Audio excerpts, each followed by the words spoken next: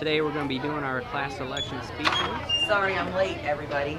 So for those of you that will be giving your speech, make sure you read over your script so that you can speak clearly when you get in front of the camera. Okay, the first one up, Andre, you'll be the first one to go back and give your speech. You ready? Yes. Three, two. I'm Andre, and I'm running for your next student council president.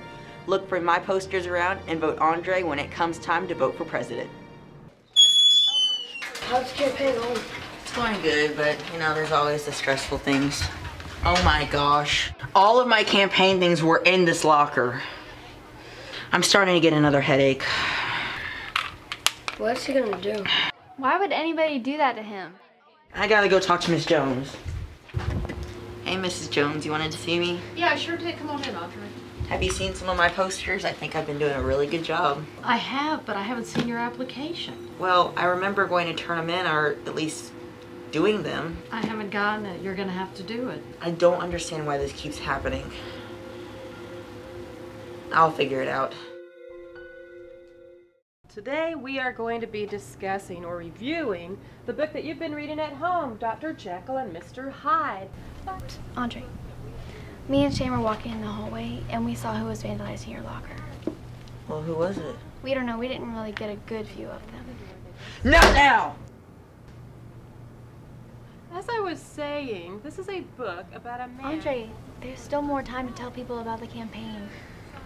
People are still going to know who you are, and they're still going to like you. They're still going to vote for you. We have more time to put up posters for the campaign. It's just that for the past three years, I've been wanting to be president. And now that I have the opportunity, someone's wanting to take it away.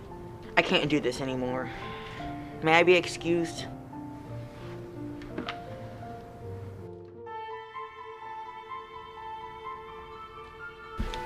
Hey, Mrs. Newman, do you mind if I come and look at yesterday's security camera? Sure, that'd be fine. It's right over there.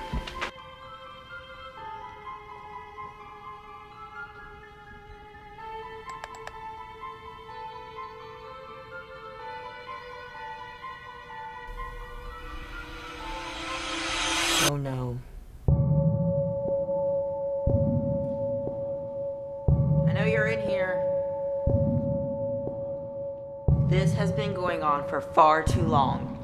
And today, only one of us will leave.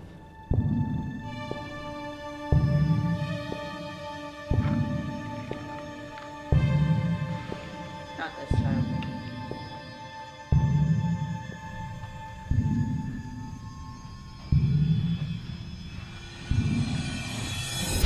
There you are.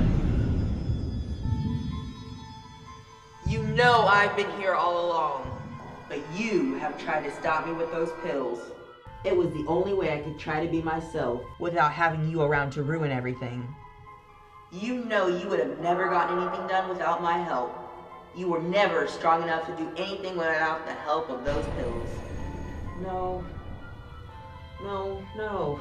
What did I ever do to deserve this? I will always be the one to make the decisions for us. No. What did you say? No, you won't. No, you won't.